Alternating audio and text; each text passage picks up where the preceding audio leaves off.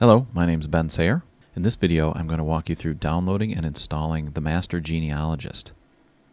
Let's point our browser over to whollygenes.com.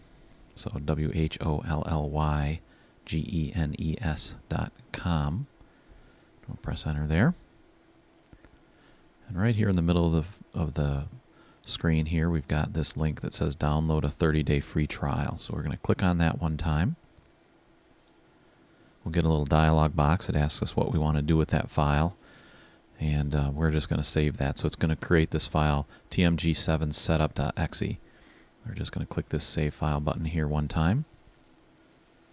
And we've got this little progress meter that will click through as it downloads. Through the magic of time-lapse screencasts, we're going to zip to the end here. The download's nearly complete. There we go. Now we've got it down. And we can close this window. We can actually close out of Firefox. We won't need that anymore. And you'll see I have my download set up to drop them on my desktop where I can immediately work with them. Uh, so you'll have to look wherever your downloads go. So you're looking for this file tmg7 setup. Once you find that, just double click on it. You'll get this security warning saying you just downloaded this from the internet. Are you sure you want to run it? And I'm just going to click the run button here one time. Okay, first thing we need to do is select our language for the installation dialogues. So since I speak English and read English, I'm going to click OK on that one. Get a little intro screen um, suggesting that you close all the other applications, which I've already done. So I'm going to click this next button down at the bottom. Here's our license agreement. You're going to want to read that, especially if you um, are tired and need to sleep. I'm going to click agree and click next on this button right down here. Okay, this so this is going to tell me uh, where the Master Genealogist version 7 is going to be installed. By default, it goes in your program files folder location. If you want that in a different place, you can click the Browse button here and uh, just scroll to wherever you want to put that. Um, and then you can also install this for anyone who uses the computer, or you can install it only for yourself. By default, it's you can see that it's for anyone. So I'm going to click this next button right here, just accepting the defaults. And then here, we want to we want to answer some this question about backup copies. So these are backups of files that may be installed by other applications. So it's wanting to know whether if it runs into any of these, whether we want to back them up somewhere. And um, that's a safe thing to do. It's a really nice little feature of the installation here. So I'm going to leave it yes. So it's going to create a folder within the master genealogist in the programs file called backup where it's going to stick those things. If you um, don't do this and uh, for whatever reason uninstall the software, um, you may not be able to put your system back the way that it was um, if, if Master Genealogist replaced a file during the installation and uh, that would be lost. So I'm just going to accept the yes button here and click yes or next. Okay, so this is just giving me a summary of everything that's going to be installed.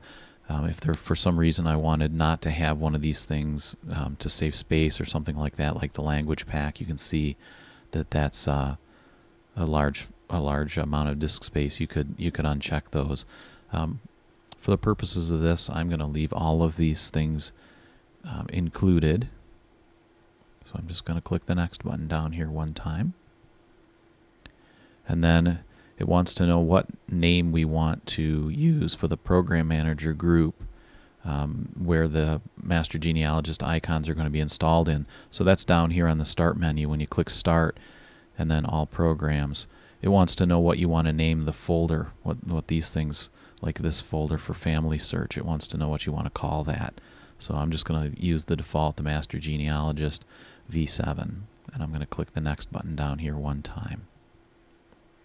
Okay, now so now it tells us we're ready. We just have to click the next button to start the actual installation. And so we'll just wait for that to finish. All right, welcome back. Now that that's installation is finished, um, this, this installation's done one of the things that I don't like, and that is it put a short uh, shortcut on my desktop. Um, I believe without asking me, I didn't see any choice for whether I wanted that created. So I'm going to click the finish button here since we're finished, and I'm going to throw that away since I don't like people cluttering up my desktop. So I'm going to delete that shortcut, and I'm also going to delete this installation file since I no longer need that. So now it's telling me that it's it's got to um, restart the computer in order to finish the installation. So I'm going to go ahead and click on OK for that. Um, since I don't have any programs running right now at this point, that's OK to do.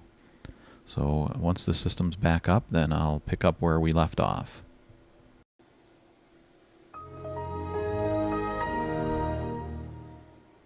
Okay, we're back now. The installation's finished. Now that we've restarted, we can actually get rid of this file. I tried to get rid of it before, but the installation was still running. That's what that little dialog box is about. I'm going to empty my trash so you guys can see that I'm really anal retentive here. I like to keep my desktop clean only with what I'm working on at the time, and I like to keep my trash can empty. Okay, now that we've got that installation done, if we go down here to the Start menu, we'll now see that we get this little bubble that tells us that we've got a new program installed. And if we go over here, that's highlighted in yellow, meaning, hey, this is the program that just got installed. So now we have some choices down here. We've got a, a quick little way to check to see if there's an updated version of the program. And then there's a there's some help here. There's the actual program itself. There's the visual chart form and the help for that. So I'm going to go ahead and start up the master genealogist here.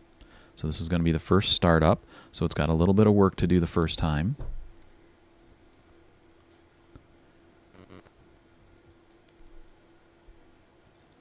Good news is this won't happen every time you start up the master genealogist. It's just this first time.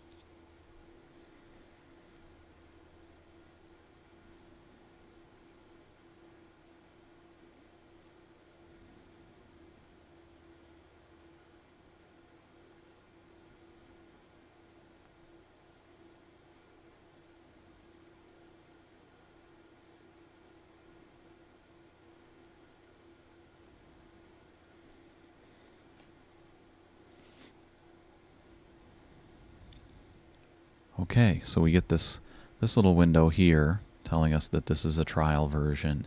And um, if you've already purchased then you have a key and this um, button right here will take you to the place that you can go to unlock the version that you have. Um, I'm going to assume that you're using a trial version for now and that's what we're going to do here. So we'll click close